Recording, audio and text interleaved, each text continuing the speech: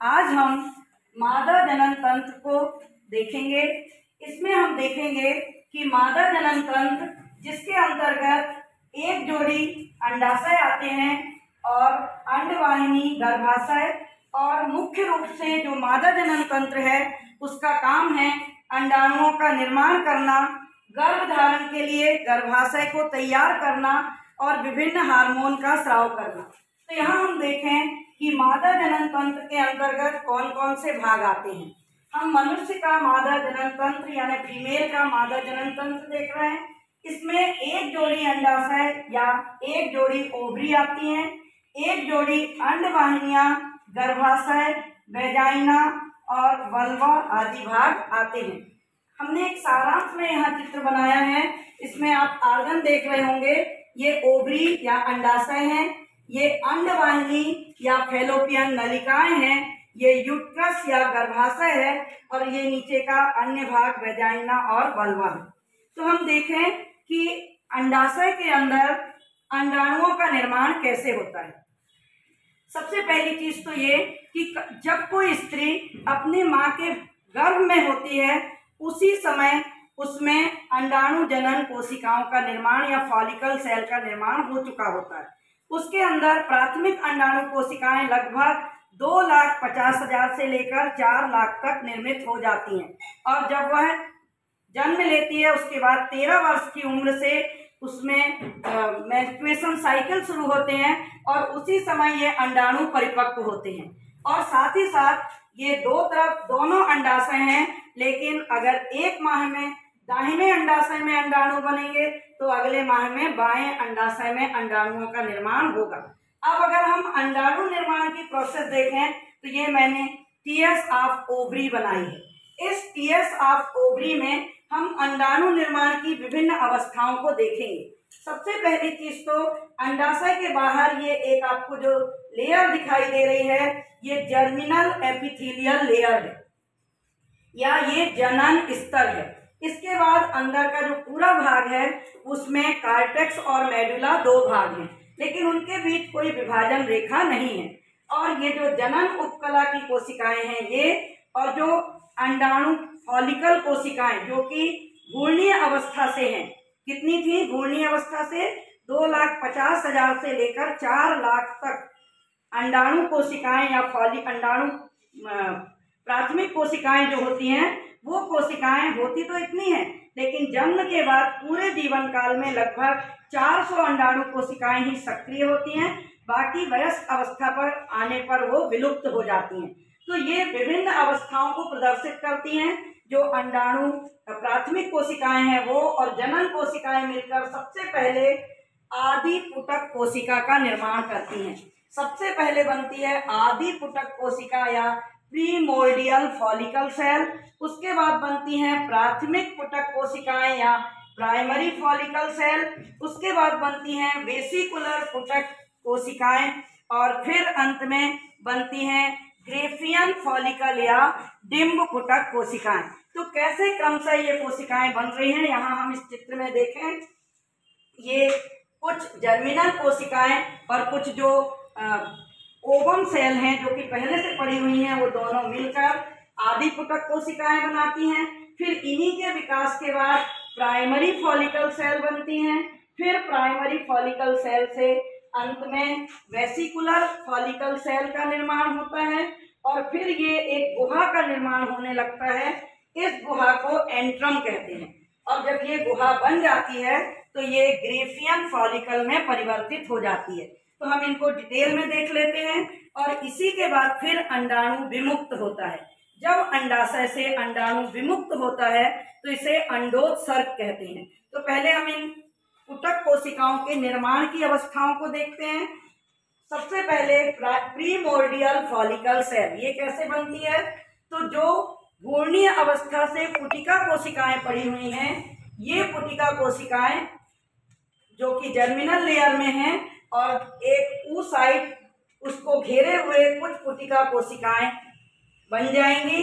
ये देखिए, ये आपको एक ऊ साइड दिखाई दे रहा है और उसको घेरे हुए कुछ पुटिका कोशिकाएँ दिखाई दे रही हैं। तो ये दोनों मिलकर आदि पुटक का निर्माण करते हैं। अब इसी आदि पुटक से प्राइमरी फॉलिकल या प्राथमिक पुटक का निर्माण होता है तो आदि पुटक ही विकसित होती है और प्राथमिक पुटक का निर्माण करती है, यानी यह अंडे के निर्माण की दूसरी अवस्था है। इसके बाद वेसिकुलर पुटक सेल बनेंगी, ये प्राथमिक पुटिकाओं और ज़्यादा विकसित हो जाएँगी और अंडाणु का निर्माण यहाँ पर चालू होगा और ये अंडाणु निर्माण की तीसरी अवस्था है। तो ये आप यहाँ पर फॉलिकल सेल देख रहे हैं।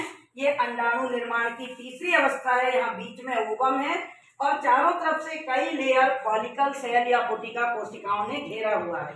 अगला है ग्रेफियन फॉलिकल तो ग्रेफियन फॉलिकल पास में आओ। यह अंडाणु निर्माण की अंतिम अवस्था है। यहाँ पर पुटक विकास की इस अवस्था में अंडाणु पूरी तरह से विकसित हो जाता है। अंडाणु कैसा हो गया? पूरी तरह से विकसित हो गया।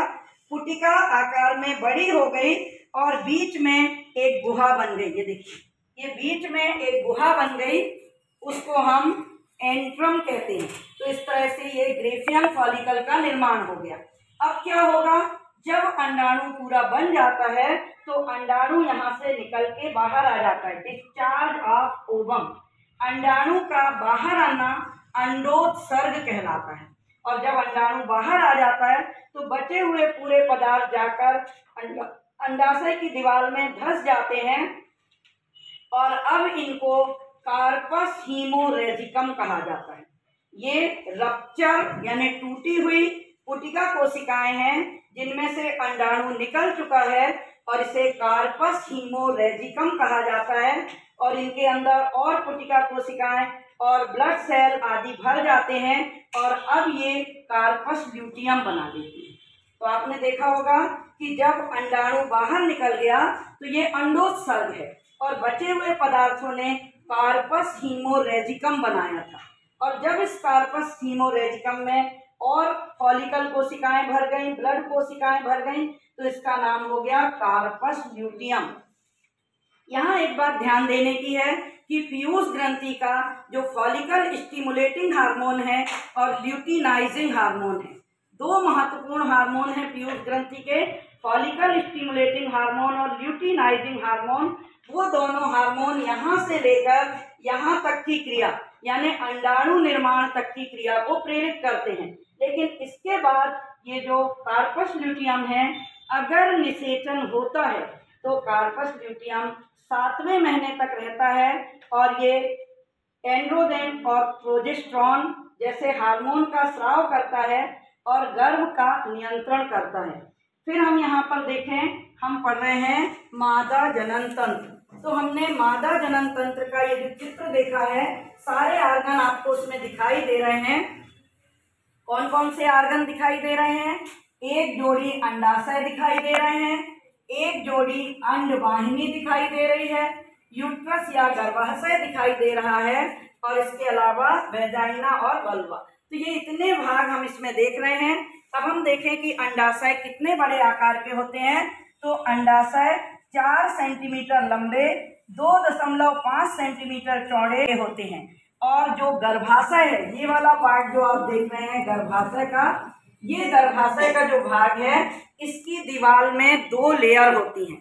कौन सी दो लेयर है? देखिए गर्भाशय की दीवार में मायोमेट्रियम और एंडोमेट्रियम नाम की दो दीवारें होती हैं, और अगर अंडाणु का निषेचन होता है, अंडाणु का निषेचन कहाँ होगा? हम यहाँ देखें। ये अंडाणु इस अंडाशय से जब बाहर निकलता है तो ये फेलोपियन ट्यूब के अंदर चला जाता है। अंडाशय से निकलने वाला अंडाणु कहाँ चला जाता है? फेलोपियन ट्यूब के अंदर। और यहाँ पर ही स्पर्म और अंडाणु का मिलन होकर फर्टिलाइजेशन या निषेचन की क्रिया अंड वाहिनी में होती है। अच्छे से ध्यान रखेंगे। निषेचन की क्रिया कहाँ पर होती है?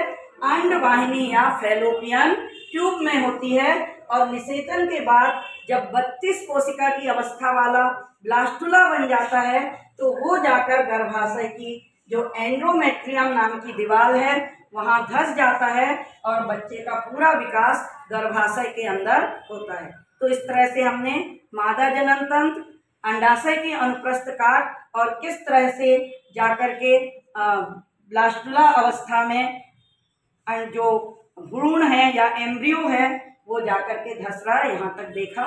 मुझे विश्वास है, आपको समझ में आया होगा। Thank you